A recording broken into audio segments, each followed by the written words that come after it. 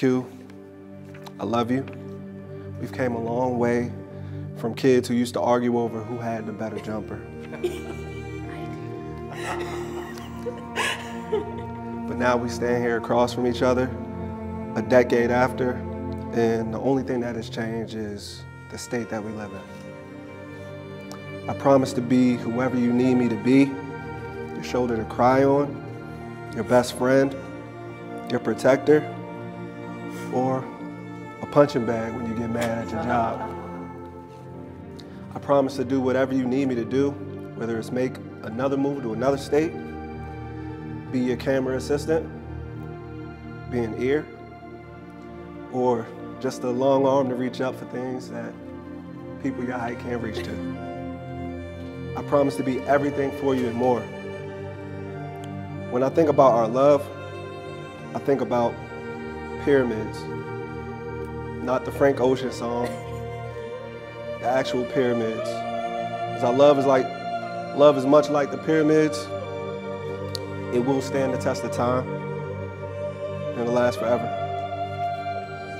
When I think about you, you are my Mona Lisa, my Cleopatra, my Beyonce. I'm happy that you are no longer my fiance. You are my wife until the end of time. Love you.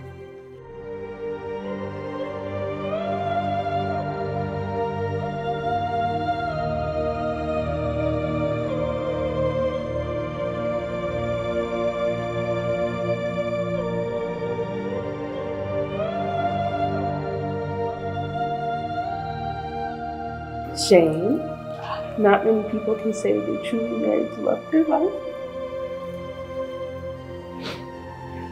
Thank you for being my person. We have gone through so much over the years, and I thank God every day for our ability to become stronger in our relationship. I know there will be new battles that we'll have to face, but with the love and support we have for one another, I have no doubt we will face them head on just like the others. I vow and promise to nurture your dreams because through them your soul shines. I promise to help shoulder our challenge through prayer, for there's nothing we cannot face if we stand together with, it, with Him.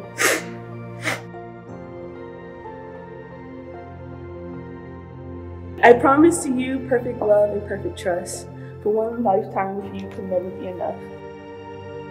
I la- lastly, I promise to trust you when you say a show is really good because I wouldn't have discovered the ultimate gems in my life The Office, Curve, and Game of Thrones without you. So, lastly, so today, in front of our closest friends and family, I take you as my husband because this is the great love story, and I'm so lucky, lucky to call you mine. As a pledge and a token of the vows we have made, with these rings, I. With this ring, I be wed. You're my husband. You may now. To